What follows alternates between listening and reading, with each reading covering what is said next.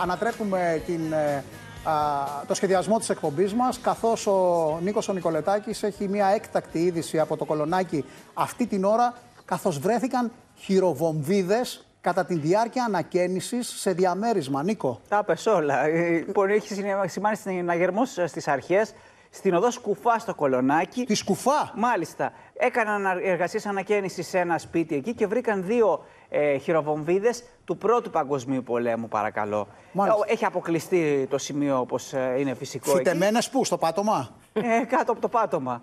Α, ε, Εκεί τα σπίτια είναι παλιά στο κολονάκι.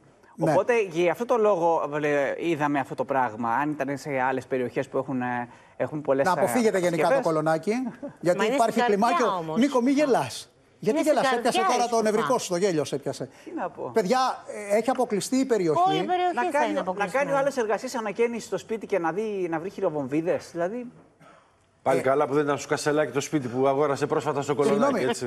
μιλάμε για σκουφά και βουκουρεστίου γωνία.